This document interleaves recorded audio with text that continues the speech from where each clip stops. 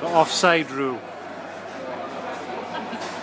So, player, ball, he goes towards the goal here and he runs between the players and ahead of the players after the ball has been put in play, it's not offside.